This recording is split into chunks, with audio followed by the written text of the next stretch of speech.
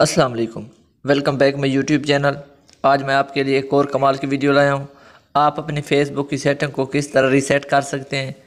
यानी उसको किस तरह आप चेंज कर सकते हैं? ओरिजिनल सेटिंग किस तरह कर सकते हैं? वो भी सिर्फ़ एक मिनट में सारा तरीका इस वीडियो में बताऊँगा। अगर आप मेरे चैनल पर पहले बार हैं तो चैनल को सब्सक्राइब कर लें। साथ वाले बेल आइकन को ऑल पर प्रेस कर दें। इसी तरह की मजीद अच्छी अच्छी वीडियो को नोटिफिकेशन आपको मिल सके। यार, चैनल को सब्सक्राइब कर दिया करें। ये बिल्कुल फ्री होता है। आपका कुछ भी नहीं लगता। आपके सब्सक्राइब करने से हमारी हौसला अफजाई हो जाती है। तो अब करते हैं वीडियो शुरू। आपने सबसे पहले अपने फेसबुक अकाउंट के ऊपर ज़ोर देना है। जैसे आपने ज़ोर देना है तो आपके सामने ये ऑप्शन आ जाएँगे। आपको एक ऑप्शन मिलेगा यहाँ ऐप इन्फो का। आपने सिंपल ऐप इन्फो के ऊपर क्लिक करना है।